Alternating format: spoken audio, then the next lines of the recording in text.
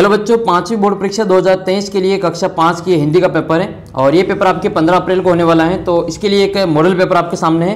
आपको इसको अच्छे प्रकार से समझना है ताकि आपके जो परीक्षा में अच्छे नंबर आए। और उम्मीद करता हूँ कि 13 अप्रैल को जो आपके इंग्लिश का पेपर हुआ तो बहुत ही अच्छा हुआ होगा और आगे के पेपर भी आपके बहुत ही शानदार होने वाले हैं। तो आइए वीडियो को शुरू करते हैं और आपके मॉडल पेपर को हम इसमें देख लेते हैं। पहला प्रश्न आपके ये है कि सदाचारी बनने के लिए कौन सा गुण आवश्यक है? तो सदाचारी बनने के लिए आप जो ईमानदार होना आवश्यक है, इसका उत्तर हो जाएगा ईमानदार। झूठ बोलना तो गलत हो जाएगा, अपचारी भी गलत है और कृतज्ञ भी गलत है। तो सही आंसर कौन सा हो जाएगा आपके? ईमानदार। यानी कि सदाचारी बनने के लिए आपको ईमानदार होना ज़रूरी है। भगिनी निवेदिता महिला थी, ये कहाँ की महिला थी? तो ये विदेशी महिला थी। तो इसका उत्तर हो जाएगा आपके विदेशी। अगला प्रश्न है, भारत की पश्चिम सीमा का सजग प्रहरी किसको कहा जाता है? तो भारत की पश्चिम सीमा का जो सजग प्रहरी वो जैसलमेर को कहा जाता है। और जैसलमेर में कौन सा किला है? जैसलमेर में सोनार का किला है, सोनार का किला। ठीक है, सोनारगढ़ का किला है जो जैसलमेर में स्थित है। एक प्रश्न का उत्तर आप कमेंट करेंगे कि झीलों की नगरी किसको कहा जाता है? झीलों की नगरी किसे कहा जाता है? इसका उत्तर मुझे कमेंट करके बताना। और चैनल को अभी सब्सक्राइब कर लो अभी। जो सब्सक्राइब का बटन आ रहा है, उसको सब्सक्राइब करके बेल आइकन को दबा देना ताकि आगे के जितने भी पेपर में डालो, आप सभी के पास में सबसे पहले आ जाए। तो चैनल को सब्सक्राइब कर लेना आगे आपके इसके पर्यावरण के, गणित के और इसके हिंदी के बाकी के और पेपर भी यहाँ पे आने वाले हैं। और पाँचवीं का जो व्हाट्सअप ग्रुप है, उसको भी ज्वाइन कर लेना लास्ट में। उसका भी लिंक नीचे डिस्क्रिप्शन बॉक्स में दे रखा है, बाद में इसको ज्वाइन कर लेना। फिर आपके अगला प्रश्न है, उदय सिंह की देखभाल कौन करती थी? तो उदय सिंह की देखभाल पन्नादाई करती थी। ठीक है, इन्होंने अपने पुत्र चंदन का बलिदान देकर जो मेवाड़ की महाना बने थे बाद में, कुंवर उदय सिंह को जो बचाया था उस समय। अगला प्रश्न है, सरदार पटेल को और किस नाम से जाना जाता है? तो सरदार पटेल को हम लोह पुरुष के नाम से जाना जाता है। सरदार वल्लभ भाई पटेल को लोह पुरुष के नाम से जाना जाता है। फिर आपके अगला प्रश्न है कि बालक अंतिम दिन मजदूरी करने को क्यों विवश हुआ? तो बालक अंतिम दिन मजदूरी करने के लिए इसलिए विवश हुआ क्योंकि अंतिम दिन पर घर में न तो उनकी माँ थी और न ही बहन थी जो उसको पैसे दे सके। इसलिए अंततः उसे जो मजदूरी करने को विवश होना पड़ा था। फिर आपके अगला प्रश्न है कि महात्मा जी के अनुसार धरती ने क्या कहा? तो महात्मा जी के अनुसार धरती ने कहा कि ये दोनों ही बेकारी मेरे ऊपर अधिकार जमाने के लिए झगड़ रहे हैं, क्योंकि मैं इन दोनों में से किसी का भी नहीं हूँ। और हाँ ये दोनों मेरे अवश्य हैं, लेकिन मैं दोनों में से मैं किसी का नहीं हूँ। सातवां प्रश्न हो गया आठवां प्रश्न देखो। देवताओं ने लड्डू खाने की समस्या कैसे सुलझाई? तो देवता तो बुद्धिमान थे, समझदार थे तो वो एक दूसरे को, जो दिमाग से काम लिया और एक दूसरे के सामने बैठ गए। और अपने विवेक से एक दूसरे को सम्मानपूर्वक जो लड्डू खिलाने लगे थे। अगला प्रश्न है, फिर आपके एक गद्यांश आएगा, इसको पढ़ना है। दादाजी कहने लगे, बुरी बात गहे गंदगी, बुरी बात है गंदगी, अच्छी बात है सफ़ाई, गंदगी बीमारी लाती है, सफ़ाई हमें बचाती है। बच्चों ने खुशी और अन्नू की ओर देखा। तब तब तक वे जो हाथ पाँव धोकर आ बैठे। दादाजी ने शाबाशी दी और बोले, साफ़ सफ़ाई रखो भाई, अच्छी तबीयत हो, इसके लिए साफ़ सुथरा रहना और वातावरण को भी साफ़ सुथरा रखना ज़रूरी है। तंदुरुस्त हो तो हमें सब कुछ अच्छा लगता है, हंसने हंसाने का मन करता है और रात को नींद भी अच्छी आती है और सुबह तरोताज़ा उठते हैं। हर काम हम फटाफट करते हैं, आलस्य हमारे आसपास तक नहीं रुकते हैं। तो हमें भी अपने आसपास जो गंदगी नहीं रखनी चाहिए, साफ़ सफ़ाई रखनी चाहिए ताकि जो मैं हर काम में जो अच्छा आसानी से हो जाए। अब आपको ये पढ़ने के बाद में एक प्रश्न पूछेंगे कि दादाजी ने गंदगी के विषय में क्या बताया? तो देखो, दादाजी ने गंदगी के विषय में बताया कि गंदगी बुरी बात है इनकी गंदगी बुरी बात है और यह बीमारी लाती हैं। ठीक है, यह गंदगी के बारे में बताया था दादाजी ने। दूसरा प्रश्न है कि बीमारी का प्रमुख कारण क्या है? तो बीमारी का प्रमुख कारण क्या है? गंदगी है। बीमारी का प्रमुख कारण गंदगी है। तीसरा प्रश्न है, तंदुरुस्त होने के क्या क्या फ़ायदे हैं? तो तंदुरुस्त होने के हमें जो कौन कौन से फ़ायदे सब कुछ अच्छा लगता है। हंसने हंसाने का हमारा मन करता है। रात को नींद भी अच्छी आती है। और सुबह तरोताज़ा उठते हैं, हमें आलस्य भी नहीं होता है। दादाजी ने किसको शाबाशी दी? दादाजी ने खुश भी खुशी और अन्नू को शाबाशी दी थी। अगला प्रश्न दसवा, इसमें आपको अर्थ बताना है। संतति का अर्थ क्या होता है? तो संतति का अर्थ होता है संतान। संतति का अर्थ क्या होता है? संतान होता है। फिर ग्यारहवें प्रश्न में आपको रिक्त स्थान की पूर्ति करनी है। हम भारत के खेलते शेरों की संतान से, वो कविता आपको याद होगी। हम भारत के भरत खेलते शेरों की संतान से। तो ये वाला आपको लाइन लिख लेने इसमें भरत लिख लाना है।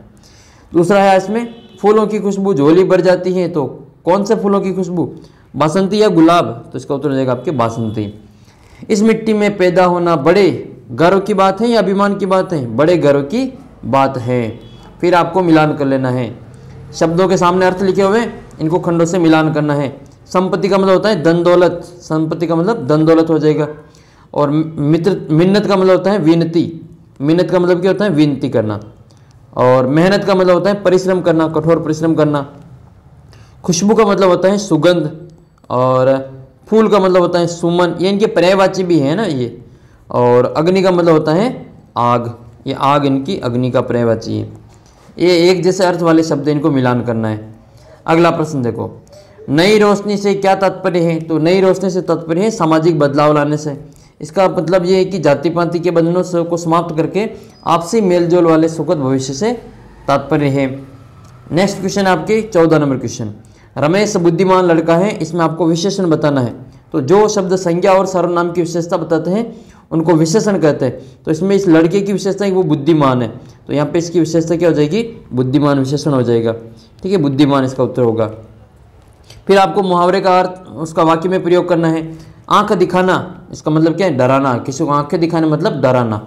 रोहन के आइसक्रीम मांगने पर उसकी मम्मी ने आँख दिखाई, इसका मतलब उसको डराया था। एक मुहावरे का अर्थ आप जो कमेंट करके बताना, नौ दो ग्यारह होना। नौ दो ग्यारह होना। इसका एक तो आपको अर्थ और मुहावरे का वापस वाक्य में प्रयोग करके आपको कमेंट करना है। ठीक है? नौ दो ग्यारह होना, मुहावरे का अर्थ और उसका वाक्य में प्रयोग करके बताना है। फूले न समाना, बहुत खुश होना। मामा जी को अचानक आया देख राहुल फूला न समाया, यानी कि उसको बहुत खुशी हुई। कान काटना, मोहन का छोटा भाई बातों में सबके कान काटता है। फिर आपको तीन तीन शब्द बनाने अनु उपसर्ग लगा के। तो ये हो जाएगा अनु प्लस शासन, अनुशासन हो जाएगा। अनुरूप अनुरूप हो जाएगा। और अनु प्लस मान, अनुमान हो जाएगा। ये अनु अनु सबके आगे लगाना है। उपसर्ग का मतलब होता है आगे लगाना। तो शब्द के आगे लगाकर आपको उपसर्ग बताना है। फिर आपको वचन बदलना है। ठीक है, जैसे भाषा का क्या हो जाएगा? भाषाएँ हो जाएगा, मछली का मछलियाँ हो जाएगा और सवारी का क्या हो जाएगा? सवारियाँ हो जाएगा। ये जो बड़ी ई की मात्रा है, जब इस बहुवचन बनाते हैं, छोटी ई की मात्रा हो जाती है। जैसे आपको पूछे मिठाई का मिठाई का पूछे तो ये हो जाएगा मिठाइयाँ मिठाइयाँ। ठीक है, ये बड़ी मात्रा नहीं आएगी अब, मिठाइयाँ। दवाई का पूछे तो दवाई का हो जाएगा दवाइयाँ दवाइयाँ। ठीक है, इस प्रकार से आपका ये बहुवचन हो जाता है। इसी प्रकार से आपको बहुवचन बताना है। रात का बहुवचन बताना है एक तो ठीक है? एक वचन का बहुवचन में बदलना है, रात। एक रात हो तो उसको हम रात ही लिखेंगे और एक से ज़्यादा रात हो तो उसको हम क्या लिखेंगे? कमेंट करके बताना है इसका उत्तर। फिर आपको दार प्रत्यय लगाकर तीन नए शब्द बनाने दार प्रत्यय का मतलब होता है पीछे लगाकर, ठीक है? दो, तीन नए शब्द बनाने जैसे ईमान प्लस दार तो ये हो जाएगा ईमानदार और चौकी प्लस दार का हो जाएगा चौकीदार। जमी प्लस दार का हो जाएगा जमींदार इस प्रकार से दार प्रत्यय लगा के तीन नए शब्द आपको बना लेने हैं। फिर अठारहवा क्वेश्चन एक आपको कहानी लिखनी है, दो तीन कहानियाँ देंगी, इनमें से कोई आपको एक लिखनी है। खरगोश और चूहा वाली लिख सकते हो, शेर और हिरन वाली लिख सकते हो, सोने के अंडा देने वाली मुर्गी के बारे में कहानी है, वो वाली लिख सकते हो। तो हम आपको खरगोश और चूहे वाली कहानी सुना देते, बता देते हैं। तो खरगोश और चूहा वाली कहानी है, एक बार एक घने जंगल में बहुत बड़े से जानवर रहते थे और वे आपस में झड़ते ही रहते थे। एक दिन चूहों ने उन्हें एक दिन उन्हें निश्चय किया कि हम अपना जो राजा है वो चुनना चाहिए। इस बात को सभी राजा बनाने को तैयार हो गए। तभी एक लोमड़ी वहाँ पर आई और उसने शोर का कारण पूछा। तो शोर का कारण बताने के बाद सभी ने उस लोमड़ी को अपना राजा चुन लिया और दूसरे दिन ये जो खरगोश और चूहा बिल को लेकर आपस में झगड़ने लगे। वे न्याय के लिए लोमड़ी राजा के पास गए और दोनों ने अपनी व्यथा जो अपने राजा को सुनाई। लेकिन लोमड़ी राजा ने कहा कि अब मैं बूढ़ी हो गई हूँ, इसलिए कम सुनाई देता है। तुम दोनों अपनी बात आपस में आकर कहो। तो जैसे ही दोनों, वे दोनों लोमड़ी राजा के पास गए, लोमड़ी ने राज, लोमड़ी राजा ने उन दोनों को बारी बारी से पकड़ पकड़ कर मार मार कर खा लिया। ये उस खरगोश और लोमड़ी चूहे की कहानी है। और आपको एक भूखी लोमड़ी वाली जो कहानी है, वो भी याद कर लेनी है। अंगूर खट्टे हैं और एक प्यासा कौवा वाली कहानी भी याद करनी है। तो ये भी दोनों आप अच्छी प्रकार से याद कर लेना। फिर आपके एक प्रार्थना पत्र आएगा छुट्टी के लिए, प्रार्थना पत्र लिखना मान लो आपको तो यह याद कर लेना। आप राजकीय उच्च प्राथमिक विद्यालय राजनपुर की छात्रा वसंत है। आप अपने प्रधान अध्यापक जी को बड़े भाई की शादी में जाने तो तीन दिन का अवकाश के लिए प्रार्थना पत्र लिखिए। हम लिखेंगे इसमें सबसे पहले, सेवा में श्रीमान प्रधान अध्यापक महोदय, राजकीय बालिका उच्च माध्यमिक विद्यालय या प्राथमिक विद्यालय, राजनपुर। यहाँ पे लिख लिया, प्राथमिक तो प्राथमिक लिख लिया माध्यमिक नहीं लिखना यहाँ पे, प्राथमिक लिखेंगे। प्राथमिक विद्यालय, राजनपुर, और फिर फिर लिखेंगे हम विषय। विषय तीन दिन का अवकाश के लिए प्रार्थना पत्र, और फिर लिखेंगे महोदय, सविनय निवेदन है कि मेरे बड़े भाई का विवाह दिनांक इतनी तारीख को है, और आपको डेट डाल देनी यहाँ पे चौबीस ग्यारह जो भी डालना चाहो, और या फिर आज पंद्रह अप्रैल 2023 इस प्रकार से डाल देना।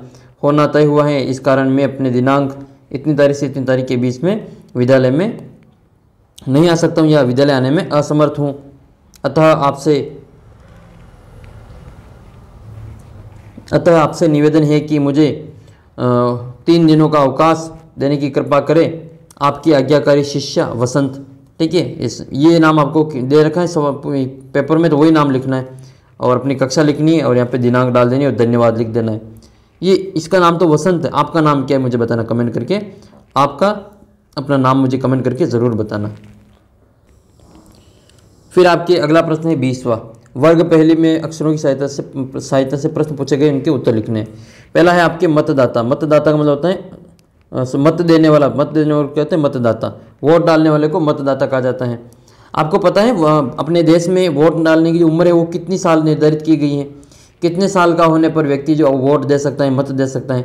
आपको पता हो तो मुझे कमेंट करके बताना दीजिए दूसरा प्रश्न है, जीव, पानी में रहने वाले जीव को नाम बताना तो ये आपकी मछली हो जाएगी, ये म छली ये म, त दाता इस प्रकार से आपको ये पहली से प्रश्न बनाना है।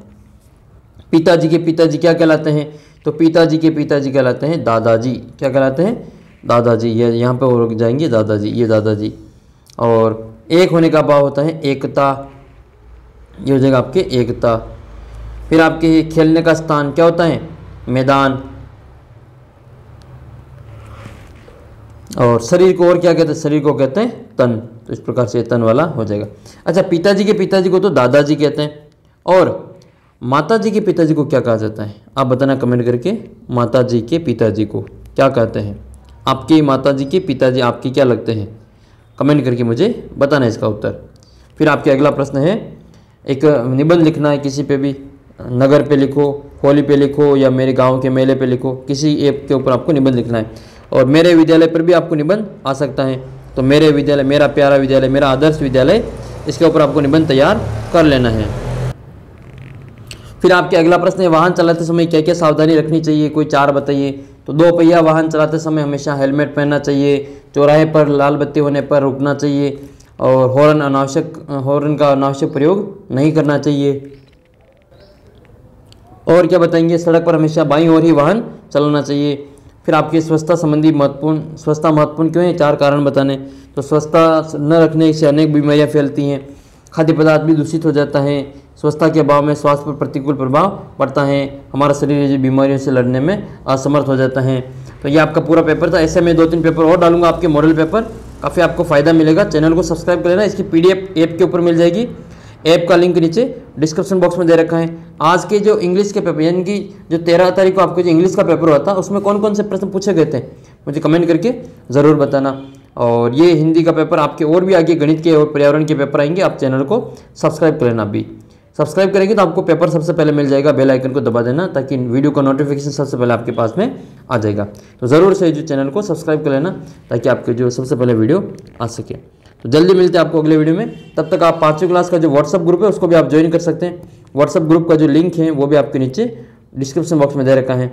और जल्दी मिलेंगे एक नए पेपर के साथ में। तब तक जय हिंद, जय भारत।